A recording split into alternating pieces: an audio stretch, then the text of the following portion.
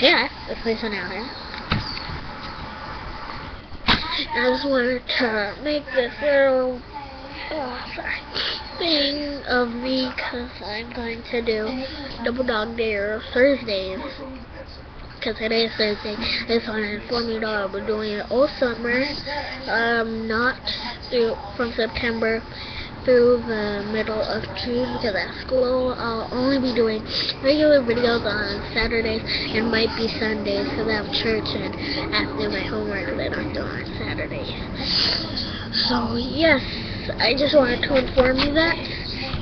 Just remember, it will be going on all summer, not through September through June, in like the middle of June and stuff.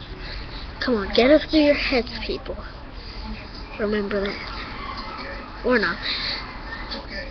But just, like, keep it in your brain. Keep it in, like, one of those filing cabinets in there. Whether it's the one with George Washington or it's the one with Hot Babes or whatever like that. Just keep it in your out there. Keep it somewhere in not your magazine cabinets in your brain. Because I know what's going up in there. It's not pretty. Yes, sorry. But just keep that in your mind. Double Dog Dare Thursdays all summer, not in not in September through June. And yeah, bye. Yes.